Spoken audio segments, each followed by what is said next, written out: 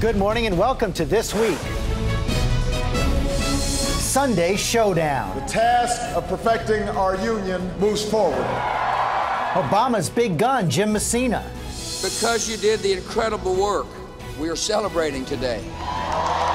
Bush's architect, Karl Rove. The winning campaign chiefs face off for the first time on our Powerhouse Roundtable, only on This Week. Plus, the president overseas. Do get away from Congress. We'll get insight on what comes next from our foreign policy experts, including ABC's global affairs anchor Christiane Amanpour and The Atlantic's Jeffrey Goldberg, fresh from the president's trip. From ABC News, this week with George Stephanopoulos. Reporting from ABC News headquarters, George Stephanopoulos. Hello again. You're going to see President Obama touching down at Andrews Air Force Base late last night after his first trip to Israel as president. We're going to analyze the mission and what comes next for that volatile region later in the program. But first, the big debates Obama is returning to here at home guns, immigration, gay marriage, and the budget. And for that, uh, this week first, Jim Messina and Karl Rove join our Powerhouse Roundtable. Welcome to both of you, along with our This Week veterans, Donna Brazile, Peggy Noonan of the Wall Street Journal, and Nightline co anchor Terry Moran. Thanks to all of you. And Karl, let me begin with you. Saturday, 5 a.m., the Senate finally passes a budget, the first in four years for the Democrats. House has already passed a budget. Very stark differences between the two. Everyone waiting for President Obama to weigh in as well. But I guess my question to you is despite those stark differences, do you see this as the beginning of negotiations toward a compromise? I, I, frankly take this as a constructive sign. I have not understood why the Senate Democrats have not passed a budget resolution for the last four years. It gives the guidelines for the Senate to go pass appropriations bills under what's called protection. That is to say, they don't require 60 votes to, as long as they live within the limits. And this sets up then the normal flow of Congress with House passing a budget with less spending, Senate Democrats passing a budget with more spending, and going to conference and working out the difficulties. It requires hard work. It requires work by the committees. But that's the way that things actually give and take. When we get in a situation where everything has to be dictated from above, like with these continuing resolutions, we set up unnecessary. And Jim, the president seems to have had the same insight. He's now started to go around the Republican leaders and work one on one with Republican senators. Well, he's done that for four years. I think it, I agree with Karl. It's Not that much. Uh, look, I was there the first two years. I spent a lot of time sitting with him talking to Republicans on both the House and the Senate. Uh, that's what he's done. That's what the record is. And that's what you've seen him do in the past few weeks. I agree with you that we are working across party lines. I think the Senate passing the budget is a good step. It's along the lines of the proposals the president's laid out, and I think it'll move us forward. But one of the things you're seeing, Donna Brazile is as we head into this next phase, the president's poll numbers have been dropping now below 50%, basically even now with the Republicans on the economy, even though he had a big advantage after the election. Well, look, uh, when you're in the business of trying to form a, a, a, compromise, get the other side to even come to the table with some common sense ideas, I'm not surprised that the president is, is a little lower than 50%. But you know, we have a budget now. We have a moral document, a blueprint for uh, the, the, the, policy debates that are going to take place this summer. One of the interesting things I enjoyed watching this at 2 a.m., and I'm sure some other people were up as well, is that we got I don't a know chance. if they were watching C-SPAN, well, well, I don't get those other channels, George. But but we, we they had an opportunity to talk about the Keystone Pipeline. They had an opportunity to talk about a biennial budget. They had an opportunity to talk about immigration. So this gave the, the senators more than an opportunity to talk about big issues as well as the, the budgetary numbers. Also, Chair Miranda scored a lot of political points with all those amendments. They did, and while this is a normal piece of legislative business, and that's very encouraging, no more uh, cliff diving, at least on this issue. One does wonder why they did it at five in the morning. Uh, you know, uh, why it has to work in such a strange and dysfunctional way at the end of, at the end of the day. But it is a good thing that they got it done. Nodding your head. Uh, yeah, it it does seem a little strange that they work sometimes on the Hill in a slightly banana Republican esque kind of way where they're making moves at 3 a.m. while all of America is asleep. That having been said, somebody, I think you, George, mentioned the president's numbers deflating a little bit uh, in the past few weeks. I don't think we should forget this is not all just, quote, budget related. It is, I think it tracks perfectly the sequester drama in which I think a number of Americans started to think the White House is playing games on this. Uh, and I think it also tended to track a few other things, like a sense that The president may not get down in the middle of things and get them going. Also, there is Obamacare, which each day is being followed by some newspaper story saying there's a new part of it that the Senate decided they had to vote out, and there's a new part that's going to cost you $1,000 more a year all of this comes together and I think has a somewhat damaging Mm-hmm. impact. And, one of the questions is the gonna be White what effect it has on well. the president's ability to get Yeah, all the yeah. items on his, on his agenda passed. I do want to move to another one because there's significant action this week on, on guns. Uh, we saw Senator Harry Reid basically say he's not going to include the assault weapons ban in his Yeah. uh, base package on gun control. And it's turned all of the fire on this issue of background checks. One of the things we saw overnight, Mayor Bloomberg of New York starting a $12 million ad campaign in tar- to target uh, swing senators. For me, guns are for hunting and protecting my family. I believe in the Second Amendment, and I'll fight to protect it. But with rights come responsibilities. That's why I support comprehensive background checks, so criminals and the dangerously mentally ill can't buy guns. That protects my rights and my family. Jim Messina, it was no secret there was a lot of resistance from Democrats on the assault weapons ban, including uh, Harry Reid. You saw Mayor Bloomberg right there. He's going to be advertising in both Democratic and Republican districts, Democrat and Republican states. You know, you work with Organizing for Action, the president's uh, super PAC, support the president's agenda. Are you going to target ads against Democrats as well as Republicans on this issue? Look, we're going to work out, reach out to members of both parties on this. Background checks are supported by over 92% of Americans, including a majority of NRA members, a majority of Republicans. There's clear consensus in the states uh, on this issue, and we're absolutely going to talk to members of both parties. So you'll be you'll be advertising in Democratic districts? We'll figure out what advertising is, but we're talking on grassroots. Last week we had over 100 events across uh, the country in both Democratic and congressional or and Republican congressional seats. We have over a million volunteers in the first month alone getting involved on this and other issues, and we're absolutely going to be advocating on the president's agenda. We're still seeing Karl Rove, the National Rifle Association, digging in against universal background checks. Look, uh, if you say, should we uh, keep uh, the mentally ill and the, and the criminals from getting guns, everybody say yes. But that's not what this is about. We're talking about, uh, in this instance, having a registry where if a grandfather wants to give a treasured shotgun to his grandson or granddaughter, he has to register with the government and go get approval of the government to give that gun if to his grandchild.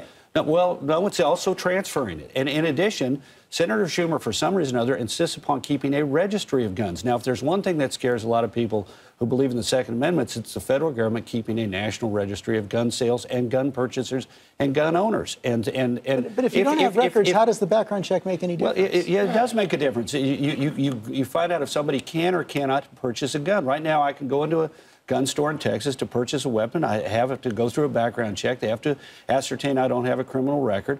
And then I can purchase a gun. But, but what we're talking about here is different than that. And, and why it's different than that, and why it's different than that is politics.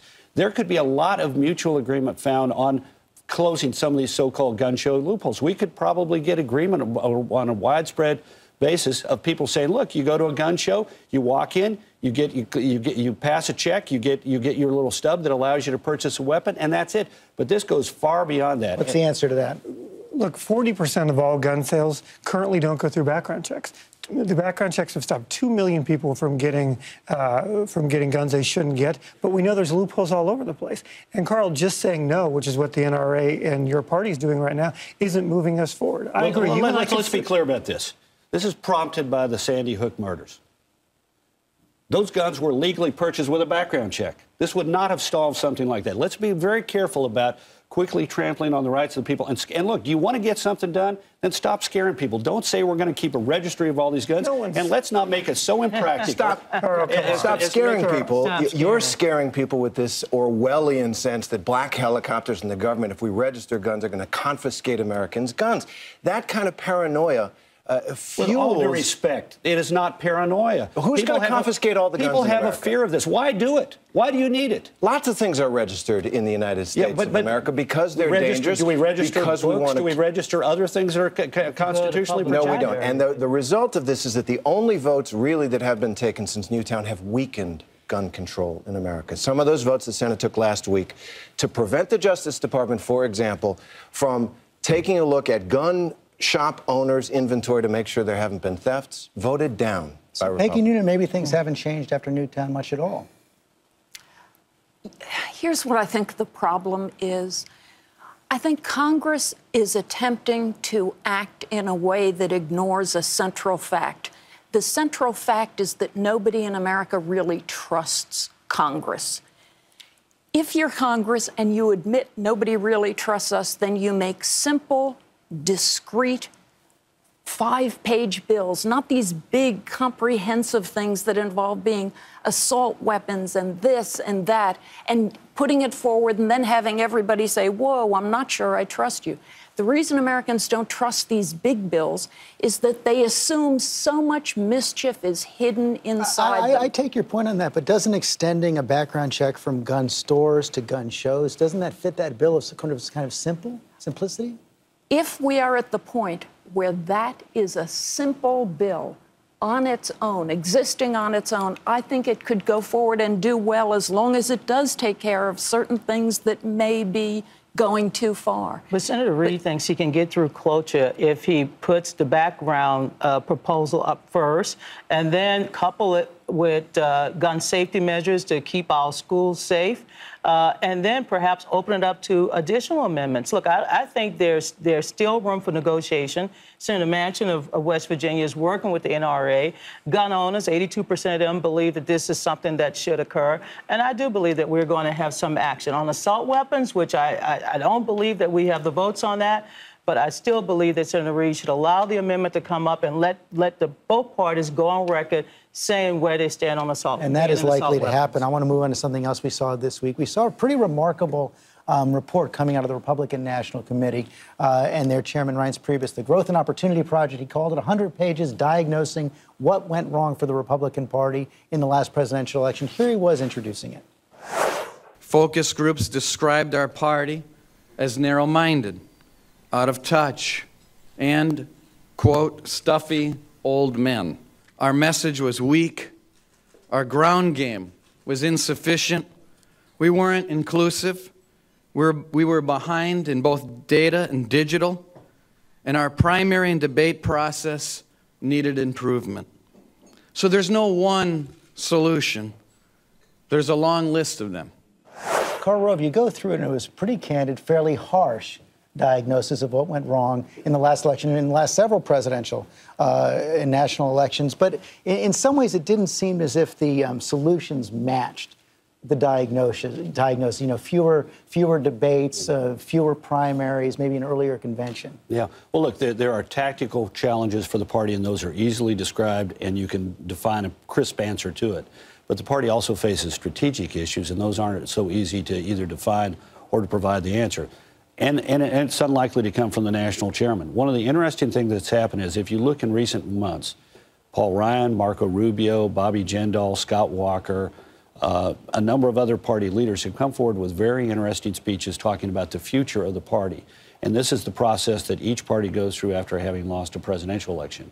And I think this is a constructive process, and I see a lot coming out of it.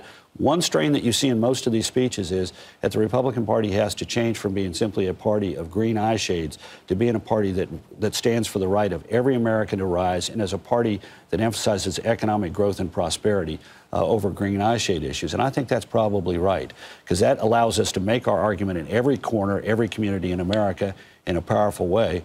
And, uh, and, and coming from voices like Bobby Jindal and Nikki Haley and Susana Martinez and Marco Rubio, gives us some greater credibility in those communities. Did you think the report got what went wrong for the Republicans? Absolutely not. Look, I think there's great things in that report, uh, and I think it got it right on the tactics, and I agree with Karl.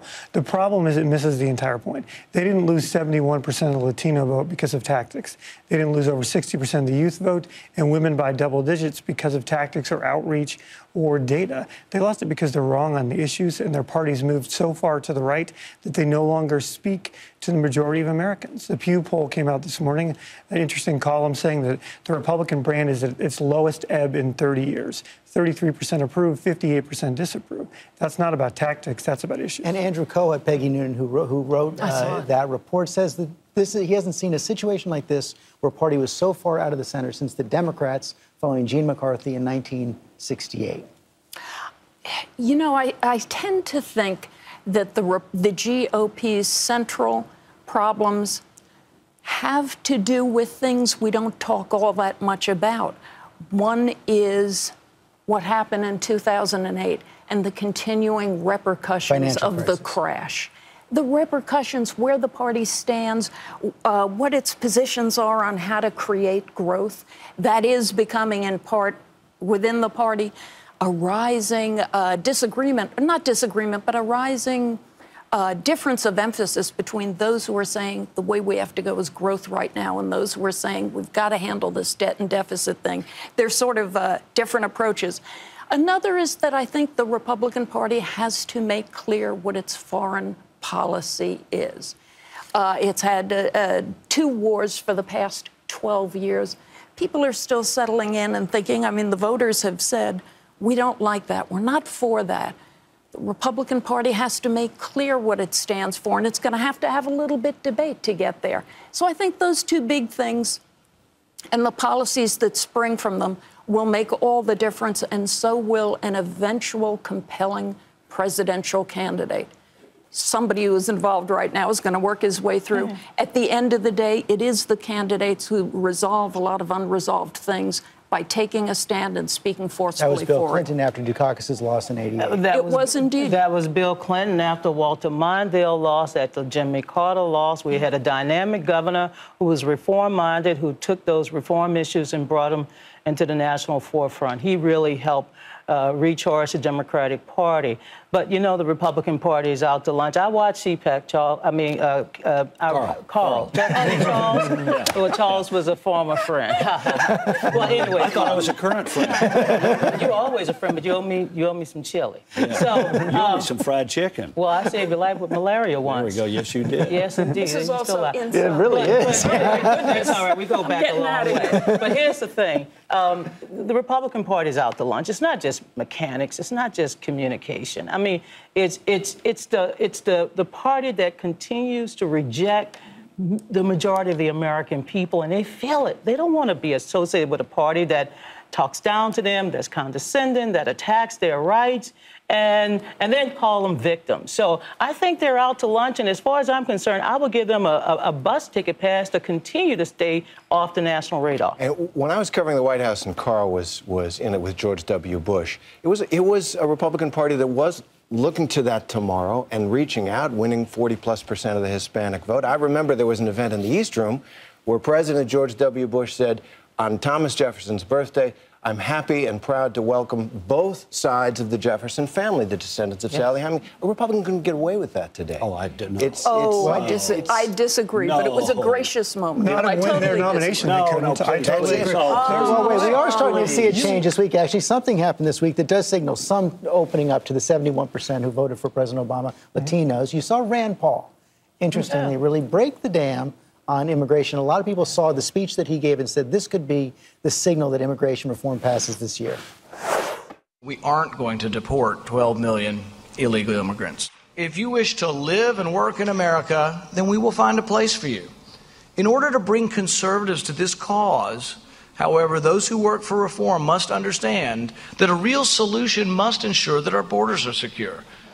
Now, Karl Rove, it is true that is not the kind of language you heard during the Republican primary debate. Certainly not Well, look, Mitt look, Romney, but a big let, shift. Let's, let's be clear. Look, before we before we uh, assign the Republican Party to the dustbin of history, 30 out of 50 governors in the United States are Republicans. Republicans have uh, uh, elected in 2010 the largest number of state legislators since 1920. They, a majority of uh, state legislators are Republicans. The U.S. House is a Republican. The Senate would have been Republican had it were it not for bad candidates. I suspect we have a lot of agreement that were it not for the Sharron Angles and Todd Akins and Richard Mourdocks of the world, there might even actually be a Republican Senate majority. And this president got reelected with a smaller percentage of the vote than he got elected four years ago. And nobody believes that he got reelected because of compelling, positive, forward looking agenda for America. He irradiated Mitt Romney and made him a plutocrat with a wife who was an open, practicing equestrian, as my friend Haley Barbour says. So let's not kid ourselves. We have two robust parties. Each have got their own problems. The Republican Party has got its problems, the Democratic Party has got its problems, and we're likely to see a competitive political environment for decades to come. Now, as to Rand Paul, good comment. Republicans need to help resolve the issue of immigration reform in order to get this issue behind us. And I think it's interesting. Mitt Romney got 27% of the Latino vote. In the battleground states with exit polling, he got 32. And in the battleground of battlegrounds, Ohio, he got 42% of the Latino vote. Now, maybe that's a little bit of small sample and so forth and so on, but nonetheless, the fact of the matter is, is the more he was able to make these arguments about the economy and deficit and debt and the Affordable Care but Act, don't you have to get certain things out of the way then? Doesn't the Republican Party have to pass immigration reform, seem to be passing it to avoid uh, uh, having the appearance that they're not play- welcoming? Republicans have to play a role in that, absolutely. And look, we have to, it can't be solved just simply by that. My former White House deputy, Ruben Barrales, has taken the leadership of an effort in California to help recruit and elect Hispanic Republicans at the local level. Last fall, they elected 100 Hispanic Republicans to school boards, new, new elections to school boards, city councils, local, uh, local units of government. Their goal is to elect 300 this year. That's the kind of concerted effort that we need to make. And we need to take our spokesmen like Susana Martinez and Brian Sandoval, governors of New Mexico and Nevada, and Marco Rubio and Ted Cruz, and get them out there along with the rest of the party communicating around the country. It, it's, it's amazing to me. In Texas, a Republican naturally campaigns everywhere in Texas including Latino communities, African American communities, Anglo communities, rural, urban. But in, in, in other states, that's just not normal. We need to make it normal. The other place that the Republican Party is going to have to seem more welcoming on social issues, big week coming up uh, this week on gay marriage. The Supreme Court is going to be uh, looking at two big cases. Interestingly, before this, we saw Hillary Clinton uh, come out this week and say she was for gay marriage. LGBT Americans are our colleagues, our teachers, our soldiers, our friends, our loved ones. And they are full and equal citizens and deserve the rights of citizenship. That includes marriage. That's why I support marriage for lesbian and gay couples. Donna Brazile, interestingly, her first message since Yeah. uh, stepping down as Secretary of State. Absolutely. But you know, it echoes something she said a few months ago at the UN gay rights is human rights. This is a, a big moment this week. Two big cases. Terry probably know more about them than I do. A moment for the country to finally get on the right side of history. Dr. King said the the, the, the, the history of the world is long, but it always bends toward justice. A moment to look at the Proposition 8 uh, in California and, and declare it unconstitutional, and also to repeal Do- DOMA. These are two big cases, and it's going to have a major impact And, on and our Terry, you do cover the. Supreme Court for us. I want to ask you about this because it seems to put uh, two justices, especially, in a in a uh, interesting position. Justice Kennedy, of course, the traditional swing vote for the justices, but maybe even more Chief Justice John Roberts, 58 years old, likely to be Chief Justice for a long time. You see how support for gay marriage has surged in the last year, even if he personally may be against it. He's likely to look and see, you know, in 10, 15 years, when I'm still sitting on the bench, it's going to be 70% support in the country. How does he grapple with that? Th- That's a great point. There's an institutional challenge to the court in the astonishing speed that the country's changed its mind on this. Uh, the people are way ahead of the elites. Uh, Hillary Clinton, when she ran for president, was against gay marriage. The president, when he ran for president, was against gay marriage. The, the Supreme Court, eh, within a generation, outlawed sodomy for gay people, but not for straight people. Now, they overturned that decision, and he doesn't want to be that Chief Justice, I think, caught on the wrong side. On the, at the same time, this is a court, and these are justices who I don't think want to declare once and for all uh, the way Americans should live. I think they want to let the people do what the people are doing. Send it to the You know, it's interesting. Peggy Noonan, Justice Kennedy, in a speech in Sacramento uh, this month, said uh, a democracy should not be dependent for its major decisions on what nine unelected people from a narrow legal background have to say. Yeah, Americans don't take it well and don't accept it as a resolution when their black robed masters in Washington decide to put on them what they decide is the right thing. The one of the great sins of Roe versus Wade, the, the abortion decision of 40 years ago, was that it decided everybody has to do it one way instead of leaving it to the states. It seems to me it, it is certainly in line with conservative political thinking, but I think it would be acceptable, certainly to liberal thinking, that when there are these gnawing, disagreeing questions going on in America, if you can't solve it here, you can say everybody can solve it down there. Let's state by state make their decision. You will immediately have New York having some of the most liberal uh, uh, decisions on this issue. You will perhaps have Utah or Arkansas having less liberal decisions. Work questions out that way as much as possible. Karl Rove, can you imagine the next presidential campaign, a Republican candidate saying flat out, I am for gay marriage? I I could, uh, but but you know what? This let's stay f- for here for a moment. Th- One of the interesting things to me is going to be we've talked about Justice Roberts and Justice Kennedy. I'm interested in Justice Ruth Bader Ginsburg, How who's so? had, well, she has had comments in the past about uh, Roe v. Wade, which Peggy mentioned, Absolutely. that said in essence Went too far, went too too fast. far, We too far, too fast, yes. and, and we should and we maybe should not have imposed one national view from the court. And what we may see is a decision here that, in essence, has not a 5 4 decision, but a 6 3 7 2 that says leave it up to the states. In fact, we could see an 8 1.